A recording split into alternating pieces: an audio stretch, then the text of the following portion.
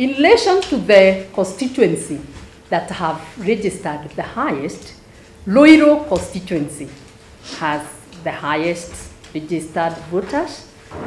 They are about 159,000. The lowest uh, registered voters per constituency is Gatundu North. The challenge is there have been a petition in Gatundu North from 2017 when we had the last general election. Right now, the petition is still going on. And when there is a petition in any constituency, there is usually no voter registration. We will be out there.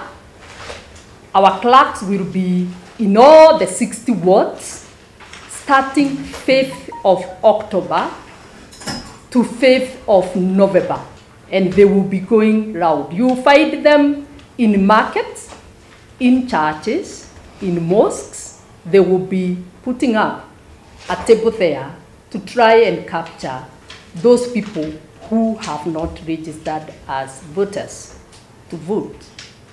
So there will not be registration of voters in Gatundu North and in Kiambaa constituency for that same reason that also Kiambaa constituency has a petition.